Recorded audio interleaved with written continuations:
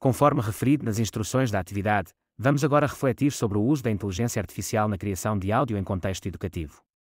Para tal, escolha um dos três cenários, crie um novo tópico e identifique no assunto da mensagem o cenário escolhido.